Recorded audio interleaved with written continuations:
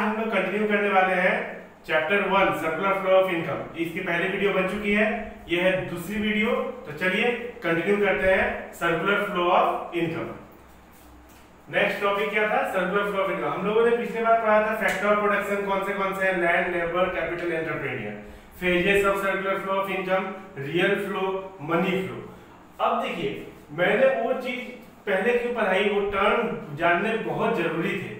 इसीलिए पहले वो जान हम लोग जान लिए, अब चलो देखते हैं सर्कुलर फ्लो ऑफ़ इनकम क्या है। अब आपको बहुत ही इजी लगेगी ये वाला। तो चलिए, क्या है?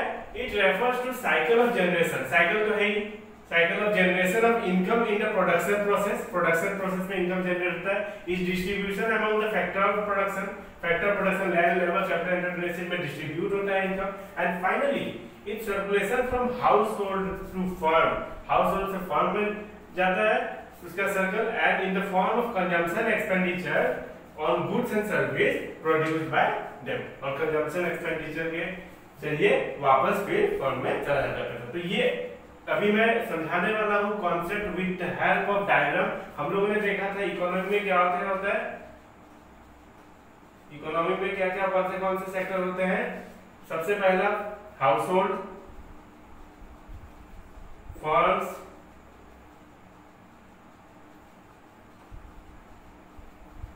government and rest of the world तो हम लोगों को कौन सा कौन सा लेना है बच्चों? ये दो। Two sector one this one and this one two sector economy two sector economy तो चलिए, पहले ले लेते हैं हाउस होल्ड एंड इसको मैं कर देता हूँ हाउस होल्ड एंड फर्म्स तो क्या था पहले सबसे पहले फैक्टर सर्विस फैक्टर सर्विस जाएगा कहाँ से जाएगा? हाउस होल्ड से फर्म में फैक्टर सर्विस गया। ठीक है? फैक्टर सर्विस फिर यहाँ से पेमेंट आया। हम लोगों ने पढ़ा था ना, यहाँ से पेमेंट आया। फैक्टर पेमेंट फिर पेमेंट आ गया। तो फिर कंजम्पशन एक्सपेंडिचर होगा। पैसा आ गया तो फिर कंज्यूम करेंगे ना। कंजम्पशन एक्सपेंडिचर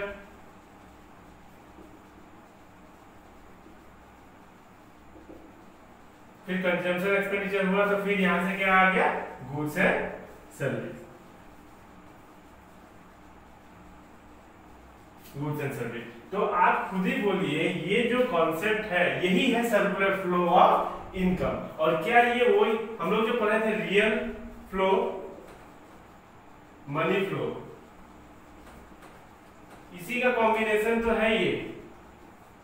इसी का कॉम्बिनेशन है ये वाला। कि फैक्टर सर्विस गया फर्म के पास। फर्म ने फैक्टर पेमेंट दिया पेमेंट आ गया, पैसा आ गया तो अब कंज्यूम करेंगे कंजम्पशन एक्सपेंडिचर के थ्रू और फिर गुड्स एंड सर्विस यहाँ से फिर ये इसको दे देगा। पैसा देगा तो देगा ही ना। तो ये सर्कल घूमते रहता है, जिसको बोलते हैं सर्कुलर फ्लो ऑफ़ इनकम और यही चीज़ यहाँ ये डेफिनेशन में लिखा हुआ है। It refers to cycle of generation of income in the production process is distribution among the factor of production and finally its circulation from household to firm in the form of consumption expenditure on the goods and service produced by the firm या produced by them तो आप ये arrow ध्यान से देखना arrow किधर जा रही है ये इधर और ये इधर इस पे ध्यान देना बहुत ज़रूरी है तो आई होप आपको ये वाला समझ में आ गया होगा अच्छे से कॉन्सेप्ट लेके ठीक है चलिए नेक्स्ट टॉपिक देखते हैं नेक्स्ट टॉपिक है आपका स्टॉक एंड फ्लो तो स्टॉक क्या होता है? पहले स्टॉक का देख लीजिए। Stock variable refers to that variable which is measured at a particular point of time particular point of time जैसे कि मैंने आज के डेट पे, आज के डेट पे टुडे आज के डेट पे कितना, मान लो आप एग्जांपल ले लो, आपका इलेक्ट्रॉनिक्स का शॉप है। ठीक है तो मोबाइल का शॉप है। तो आज के डेट पे आपके पास कितना मोबाइल है? मान लो 20 20 पीस मोबाइल है। तो ये होता है स्टॉक कॉन्सेप्ट ठीक है तो stock variable refers to that variable which is measured at a particular point of time जैसे कि, अब जैसे फ्लो कॉन्सेप्ट में बताया था। फ्लो कॉन्सेप्ट मान लो शुरू शुरू में आपके पास था 20 मोबाइल 20 फिर आपने चार बेच दिया।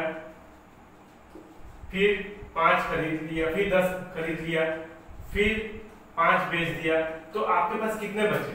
तो 20 में से चार बेच दिया, आपने सेल कर दी तो चार 16 16 में से और से 26 20 में से 26 में से पाँच 21 21 आपके पास बचे। तो ये है स्टॉक ये वाला ये चीज़ है, ठीक है? और ये है फ्लो ठीक है? कितना, कैसे पूरे डायमेंशन दिखाता है? इट हैज़ टाइम डायमेंशन मतलब शुरू से लेके अंत तक ये पूरा डायमेंशन दिखाता है कि फ़र्स्ट फ़र्स्ट से लेकर मान लो थर्टी तक, थर्टी अप्रैल तक, फ़र्स्ट अप्रैल से। तो तो ये होता है फ्लो तो अब आई थिंक आपको समझ में आ रहा होगा कि stock variable refers to that variable which is measured at a particular point of time आज के डेट पे अभी मेरे पास कितने स्टॉक है? मान लो अभी एकदम तो अभी कितना है? 500 स्टॉक तो ये होता है stock concept it does not have time dimension time dimension क्या नहीं? एकदम नाउ और स्टैटिक कॉन्सेप्ट स्टैटिक है। क्यों, क्योंकि ये बस अभी का पूछ रहा है। अभी स्टॉक कितना है? वो है स्टॉक और फ्लो क्या है? Flow variable refers to that variable which is measured over a period of time over a period of time ये वाला चीज़ आपका पूरे पीरियड ऑफ़ टाइम में कैसे कैसे हुआ है? ये आपका क्या कॉन्सेप्ट है? फ्लो है। It has time dimension time dimension है अप्रैल से 30 फ़र्स्ट अप्रैल से 30 अप्रैल वन मंथ ये वन वन ईयर का भी हो सकता है वन डे का भी हो सकता है तो ये कुछ भी हो सकता है time dimension one day one hour का भी हो सकता है। तो ये है flow concept it is time dimension and it is dynamic concept change होता रहता है। और ये स्टैटिक कॉन्सेप्ट ये चेंज नहीं होता है। आज अभी आपके आपके पास आज के डेट में कितना स्टॉक है? आपके पास 20 स्टॉक है 20 मोबाइल फ़ोन है। तो ये हो गया स्टॉक कॉन्सेप्ट फ्लो मतलब आपका पूरा टाइम डायमेंशन पूरा चीज़ कैसे कैसे हुआ है, वो आपको फ्लो कहलाता है। और एक एग्ज़ाम्पल ले सकते हो, जैसे कि ये वाटर है। बुक का एग्ज़ाम्पल है, ये वाटर है आपका। ठीक है? और ये टैप है। ठीक है? यहाँ से, जो भी है, पानी आ रहा है। तो ये आपका है फ्लो और ये आपका है स्टॉक तो आई होप आपको ये क्लियर हो गया होगा। सो so, अगर आपको समझ आए तो लाइक कीजिए शेयर कीजिए सब्सक्राइब कीजिए और देखते रहिए कॉमर्स अकेडमी